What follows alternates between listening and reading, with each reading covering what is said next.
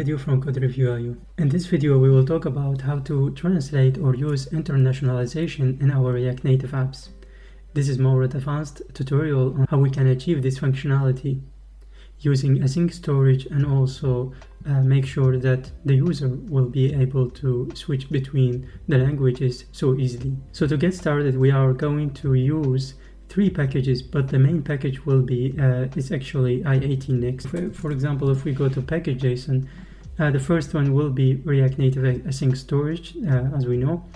Uh, the second one will be i18 next, React i18 next, and React Native Localize. This one is more optional, it's up to you, but it will be handy if we want to detect the current localization in the in the app. These are uh, will be shared also in the in the video description down below with all the links to the packages. Now to get started also we will create a file called uh, i18config.js. It's up to you what you call it.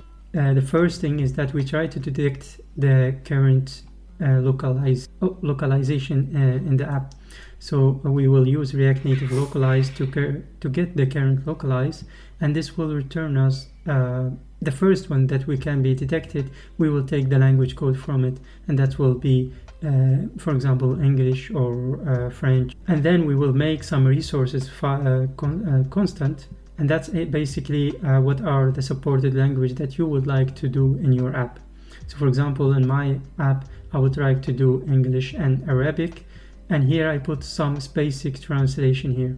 Normally this translation, it should be a JSON file that you could import so you can make your folder uh, and then you put JSON files there. Now after that we will in initiate the i18 next. So we will use i18 next and we called init react uh, i18 next which is coming from uh, react i18 next. And we will say init. We will set the debug to true in case of uh, diff environment. And then the others we will pass just the resources. Uh, it's up to you to pass also the language what is the uh, selected or the the initial uh, language? From my uh, from me I will use get get language which is actually getting the the first localized language. Otherwise it will use English and I will also, uh, also put a lazy as true. Supported language for this app is English and Arabic. The compatibility JSON it's uh, it's needed here, and then the fallback language it will be also an array. So for me, I uh, specify Arabic as first. Uh, interpolation is also for escaping the values. There are more configuration, maybe it needs to be checked, but these are the needed one to get started.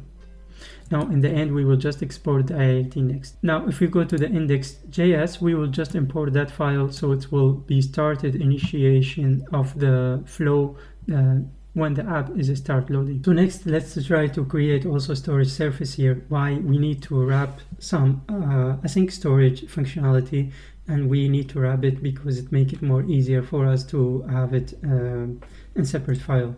So what I would try to do is also create a storage service here file and that's where I will say uh, create a storage service object and that will be either the set item here and then get item.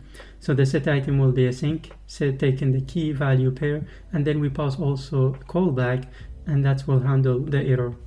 So in case of the set item is there, we will stringify the value. That means that this value can be anything, and then the stringify will be taking care of this storage service. Uh, if there is any error, then we handle the error callback and then we send it back in case of the client would like to show some error messages.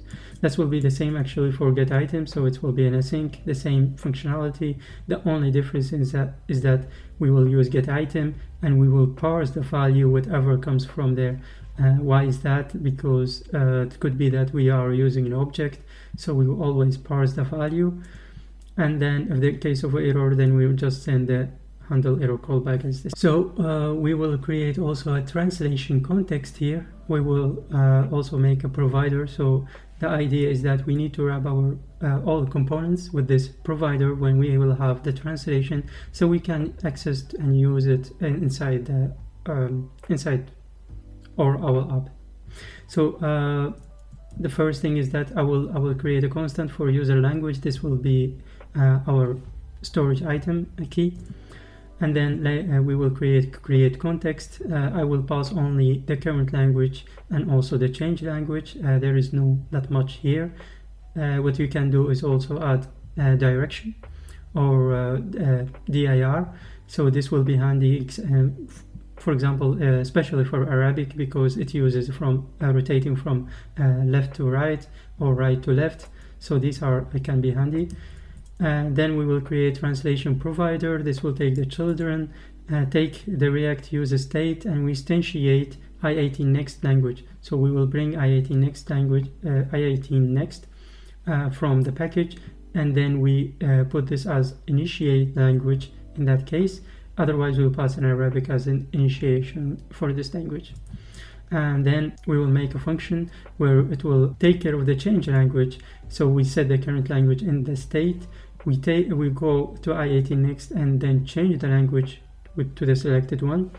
And then also we bring the storage service when we want to set the item to the user language that we have to this language uh, to the selected one.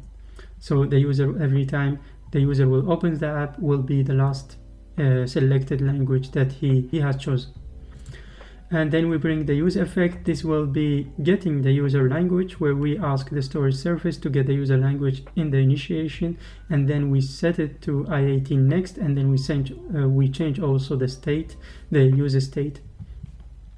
So this will be uh, this will be uh, start in the beginning and then it will change the language. Even if the so if I go to this file even if you are, for example, you selected or the good language is coming as uh, Arabic, um, and then here the user language is getting from the uh, storage is in English, this will be uh, overridden. So we are good here. Uh, now in the end, we just try to uh, call the this function. So this will be it. To just call this function. Uh, and then in the end we return the, the translation provider, context provider, and then we pass the values as current language and change language. Uh, in the end we also make some hooks, uh, so or actually just one hook, uh, which is called use locale. Uh, in that case we will take two functions or two uh, properties from the our context, which is actually the change language and current language, and then also we will take the T or the translation function from use translation and that's coming from uh, React i18 next. So in the end we will have something like this. Now if we go to, for example, to our app, so I just wrap it here uh, with translation provider and then I have also component, I made a component called language switcher. So if I go to this language switcher, it's just a simple language uh, switcher. So first I bring the user locale we have change language, we have current language, and then the T itself. If I want, for example, to translate anything, uh, I can use it like something like this, hello world. So I will just bring uh, the config here to show you uh, how it was like this. So for example, the key is hello world. So I can uh, use the key as, as like this. And then there is another way also that if we want to pass any parameters, we can pause this and then it will be translated. For example, uh, if you see the count, we are sending the current count and then it will be uh, translated with a count here. So you can define the variable uh, here. And then uh, we, if we want to change the language, we actually just call change language because that will be uh, basically it. And it will take care of changing the language and also saving in the storage um, for the user choice for the next uh, visit. Now there is also uh, something I want to show you which is related to what in case for now we are using only use locale which means that we are using hooks inside the component. And you, uh, hooks cannot be called outside of the component. And that will make it a bit difficult for us on how if we want to translate something outside of component um, I, I, don't want really to be linked every time to, to the component to translate something. So in that case, I would use some functionality for that. So basically uh, what you try to do is actually um, bring, make a function called get translation send the key value to it. For, for me, these parameters is actually uh, an optional. So now uh, what we are trying to do first is that we check from i18 next is this one is not initialized. Then we say like translation is not initialized, which is kind of like rare uh, because we uh, we reached this uh, point, uh, and then the i18 next is already initialized here. and then also we also check this is kind of, kind of like a fallback for the errors. In case of the key is not found we just put something like okay key is not found or missing key for uh, that translation. But the, in the end we will uh, return i18 next.t and that will be uh, our translation. So for example if you want to use it then we would just say like okay for example i would just say so we can say translate. So in that case we can use uh, this translate function outside of the uh, outside of the any component uh, but if we want to use it inside the component so uh, we can use it always by using uh, locale.t and and that's basically how we can try to to to, to use i18 next uh, outside of the component. Now I have added also to the context direction um, which is the LTR or the uh, RTL for the Arabic so in that way, we are going to send this inside the, the value of the context. So we check the current language and if it is Arabic, then RTL or LTR. And also in the in the context, we are returning the whole values to from this use locale. Now in the language switcher, I also change this to be a language, change language, but then we are getting also the direction and then we send it to style as a direction. This will work uh, perfectly in, uh, um, in both iOS and Android. Uh, you might need sometimes that to have um, some uh, additional styling, especially for Android, to handle this. Uh, so maybe you can use Flex Reverse uh, or Row Reverse. That can be also will work in case of Android. Now there is one caveat that you need to take care of, which is related to an Android. So for example, in Android, you need to put some uh, language, supported language in your Android manifest. So you go to Android manifest inside the source main, and then you need to add this here. That will tell that uh, support you RTL or not. That is will only in case of you have an RTL language, which in case in that case it is in Arabic. So you will be uh, setting this to true. Um, there is another one uh, caveat. So it's related to the build Gradle where you have the default config. So here you have the default uh, config under Android. Uh, what you see also the package and all of that, all of that. And what you need to try to do is also to set res configs.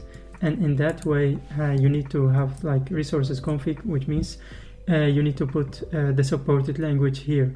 Otherwise, uh, Play Store or uh, uh, Google will uh, will block your app for the release if it's supported to languages and it's not mentioned here. So that's one that you need to take take care of. So I think with that we are good for this video. I hope this is useful. Thank you for watching and see you next time.